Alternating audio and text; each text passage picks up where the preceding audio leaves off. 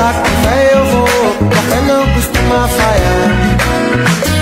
Andar com fé eu vou, café não costuma falhar.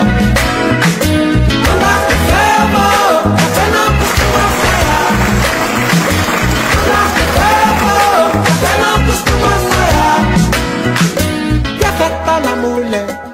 Eu estou muito feliz aqui, eu estou vendo gente aqui de tudo quanto é segmento. Estou vendo aqui pessoas da cultura, do esporte, gente aqui da área de segurança, gente da área da saúde, gente da educação.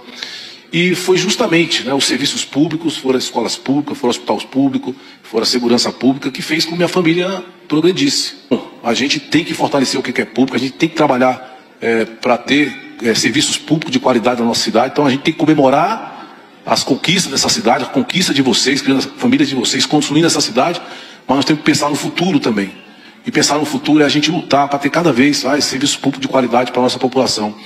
E vamos juntos, né? Para que a gente possa melhorar cada vez mais nossa cidade, preparar uma cidade muito melhor para o futuro, para os nossos filhos, para as gerações que virão aí, tá bom? Valeu, um abraço a todos vocês. Viva Sobradinho!